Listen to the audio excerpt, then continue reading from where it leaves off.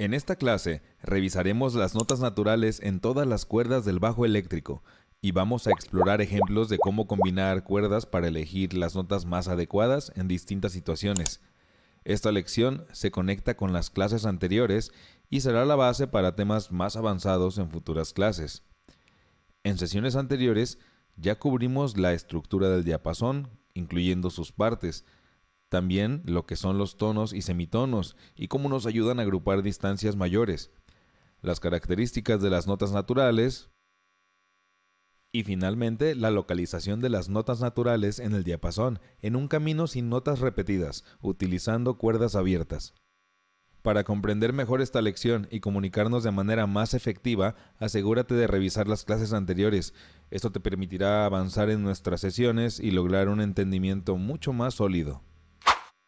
Vamos a ver un formato de desplazamiento horizontal.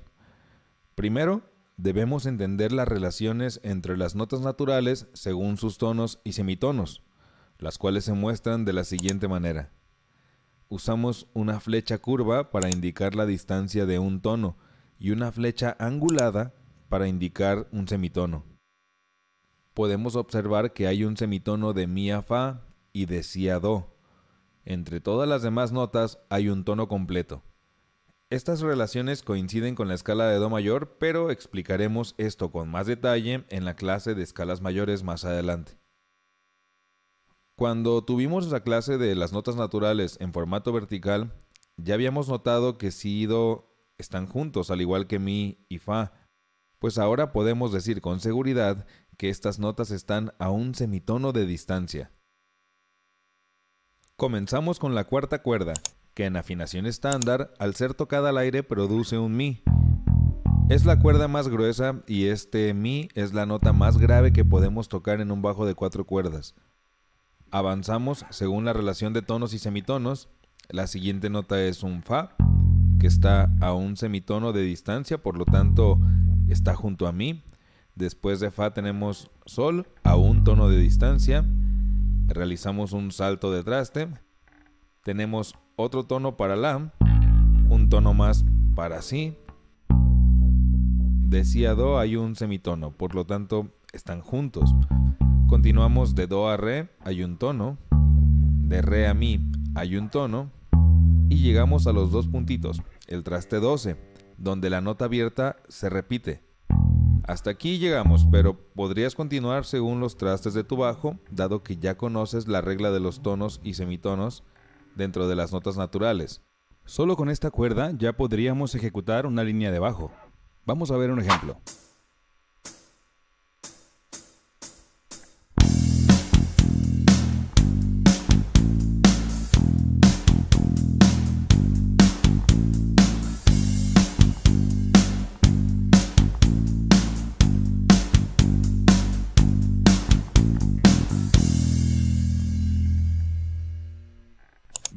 Ahora vamos con la tercera cuerda. Al aire tenemos la, después si a un tono de distancia, do a un semitono de distancia, re a un tono de distancia, mi un tono más, fa a un semitono de distancia, sol a un tono de distancia, la a un tono de distancia. Y ahí llegamos a la nota repetida. Aquí ya notamos la aparición de otras notas repetidas entre las cuerdas. Estas notas son las mismas que estas. Entonces surge la duda, ¿qué nota elegir si ambas van a producir el mismo sonido? Por ejemplo, este Do. Dada la naturaleza de las cuerdas, la cuerda más gruesa produce un Do con más graves, mientras que la tercera cuerda, al ser un poco más delgada, produce un sonido con menos graves. Pero la razón principal para elegir una nota sobre la otra es la practicidad. Por ejemplo, si deseamos tocar un acompañamiento con Do y Sol, en la cuarta cuerda tendría que hacer estos saltos. No solo son saltos relativamente largos, sino que es difícil tocarlos cuando la velocidad entra en juego. Sin embargo, si lo hacemos distribuyendo las notas en dos cuerdas, será más fácil tocar manteniendo una posición en la mano izquierda y las notas estarán más cercanas entre sí. Entonces, elegimos una nota sobre otra para facilitar la digitación y lograr economía de movimiento, además de considerar cuando queremos que la nota contenga más graves. Con ambas cuerdas podemos realizar este tipo de acompañamiento partiendo de distintas notas.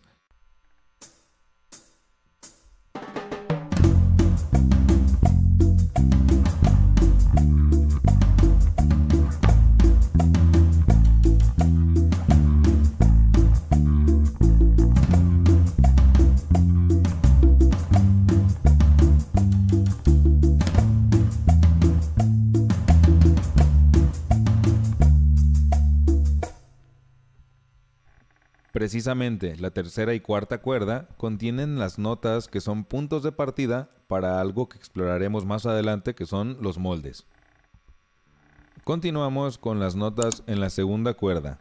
Al aire tenemos Re. A partir de aquí encontramos las siguientes notas.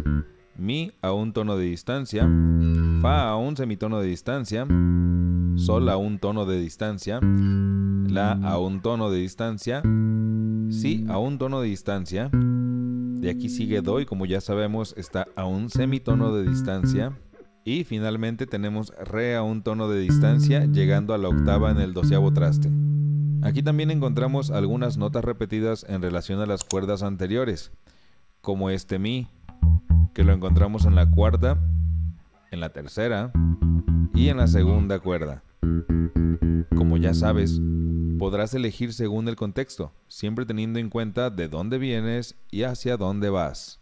Aunque el acompañamiento suele ser fundamentalmente grave, hay líneas de bajo muy interesantes que le dan a esta cuerda el mismo protagonismo que a las demás.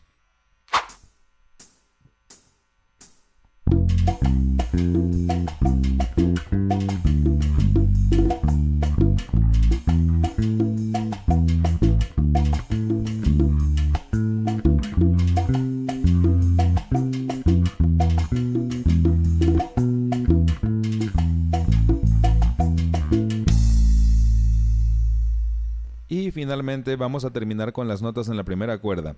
Al aire tenemos Sol. A partir de aquí encontramos las siguientes notas. La a un tono de distancia. Si a un tono de distancia. Do a un semitono de distancia. Re a un tono de distancia. Mi a un tono de distancia. De mi a fa, como ya sabemos, hay un semitono de distancia. Y sol a un tono de distancia, llegando a la octava en el traste 12. Es la cuerda que digamos menos graves produce, pero tiene más definición. Esta característica la convierte en el complemento perfecto de muchos géneros, como la música disco, donde las líneas de bajo utilizan muchas octavas. En el contexto de solistas, la primera cuerda destaca por su capacidad para ofrecer notas bien definidas, permitiendo que los solos de bajo se escuchen con mayor claridad. Su definición y timbre más agudo la hacen una cuerda ideal para líneas melódicas y líneas con octavas.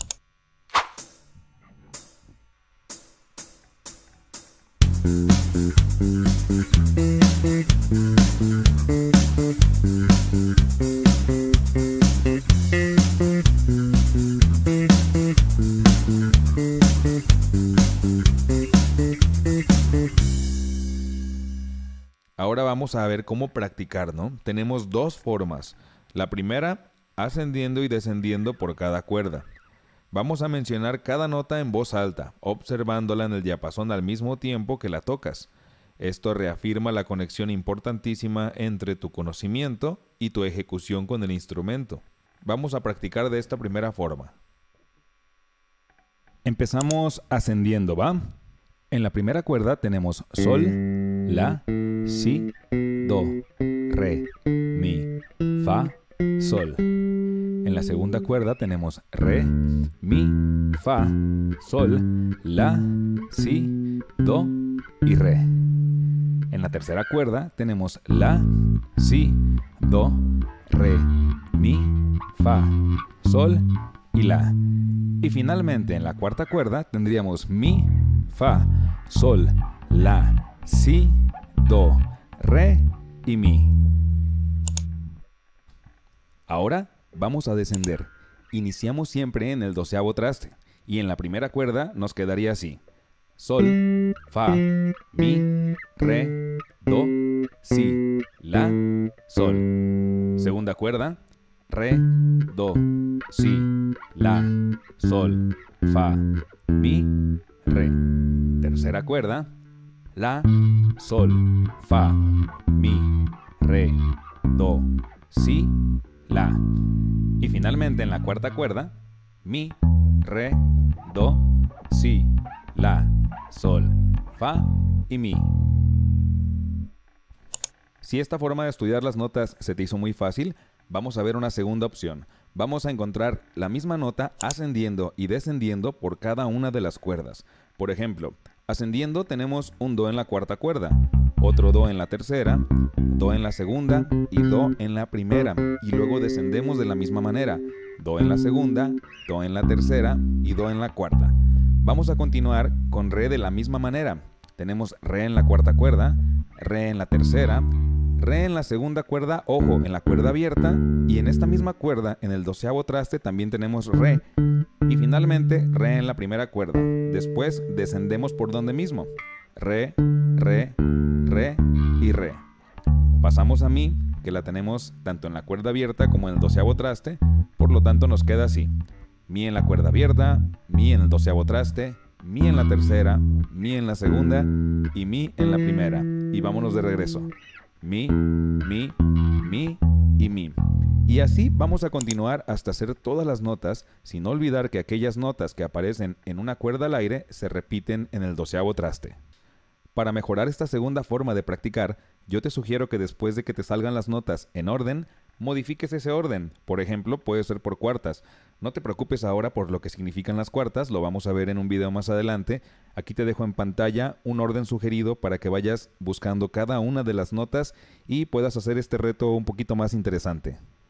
Aunque aquí la meta no es la velocidad, sino la seguridad con la que conoces las notas, un metrónomo puede ayudarnos a revelar dónde tenemos mejor aprendidas las notas y dónde podríamos mejorar. Y bueno, casi para terminar, un consejo final. Cuando veas una nota en tu diapasón, en lugar de observarla de manera individual, poco a poco trata de observar grupos de notas que la rodean. Por ejemplo, si y do siempre están juntos. O también puedes notar que arriba de do siempre vas a tener un sol, sin importar en qué cuerda te encuentres. Estas relaciones se mantienen, estas relaciones entre cuerdas siempre son las mismas. Incluso si tienes un bajo de cinco cuerdas, puedes seguir desarrollando estas relaciones entre notas. Entonces, mi consejo es, observa grupos de notas en lugar de notas individuales en la medida que te vaya siendo posible. Primero vas a ver una nota, después vas a ir viendo algunas de las notas adyacentes. Después incluso puedes ver una combinación de varias cuerdas, hasta que finalmente percibimos la mayor cantidad de notas posibles de manera periférica. Y bueno, ahora que sabes que hay muchas notas repetidas en el bajo eléctrico, no te preocupes demasiado por esto. Al buscar digitaciones, deja que el contexto te guíe. Siempre ten presente de dónde vienes y hacia dónde vas. Las digitaciones se integrarán naturalmente según el género de música que tocas y la técnica que vas desarrollando. Un tutor puede ayudarte a elegir el camino más eficiente, pero un camino más desafiante también te puede enseñar mucho. Entonces, ninguna cuerda es mejor que otra. Se complementan entre sí y tienen sus cualidades únicas.